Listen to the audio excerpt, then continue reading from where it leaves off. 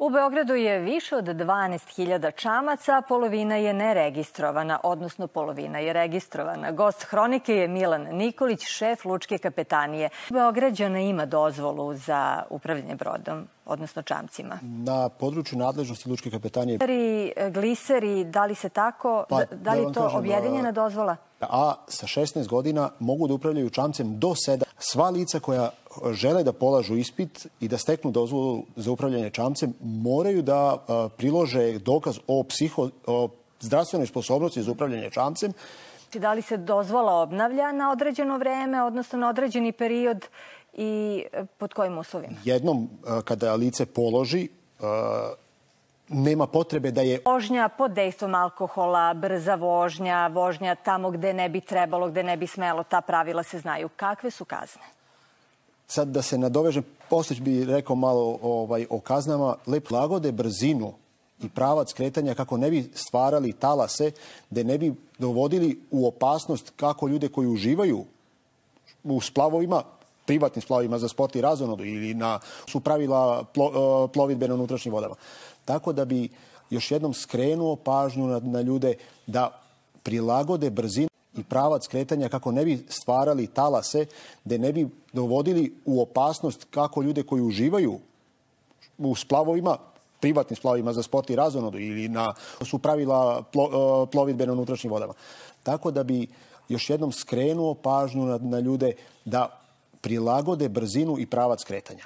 Ono što ste pitali kakve su kazne ovaj, e, za nepoštovanje tih zakonskih poslova, svakodnevno vrše kontrole, pišu prekršajne prijave, sad je to sve do, do suda, odnosno do postupajućeg sudije, kako kako će odrediti e, visinu kazne, mislim ne, od e, nepoštovanja zakonskih odredbi. Dobro, ali svakako je važno to što ste nam rekli da su sada pojačane kontrole u ovom periodu, što je nekako i logično. 22.000 Beograđana ima dozregistrovanih. Šta je sa onima kada uh, krene kontrola i vide da neko vozi bez dozvole? Ili da ima dozvole? Stupajućeg prekršajnog sudije. Juče smo imali jedan udes na vodi u Marini Novi Beograd, uništene su i dva čamca, deo Marine. E, Šta se dešava konkretno u tom slučaju? A... Komisija koja je nadležna za preglede brodova izlazi na teren, utvrđuje činjenično stanje, da li ima elemenata, odnosno da li je bilo došlo do kvara ili ne.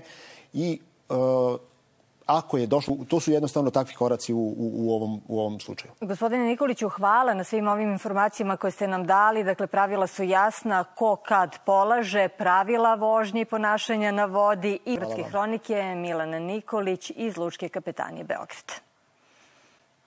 Mladi, stariji, gotovo sve generacije, mnogi se rado sećaju kako je to nekada izgledalo, a za one koji prvi put gledaju filmove pod zvezdama, to je zaista poseban doživljaj. Ovoga leta na još više lokacija. Podsećam vas još jednom na vest s početka emisije. Od sutra je moguće obilaznicom potpuno izbeći centar Beograda na putu za Niš, Čačak ili Novi Sad. O tome i u našim narednim emisijama. A od kraja nedelje počinju takmičenja u Wimbledonu. Srpski tenis Navijamo za Noleta svakako, a vama, poštovani gledoci, hvala što ste i ovo popodne po, uh, podelili sa nama. Ja vam želim prijatno veče i doviđenja.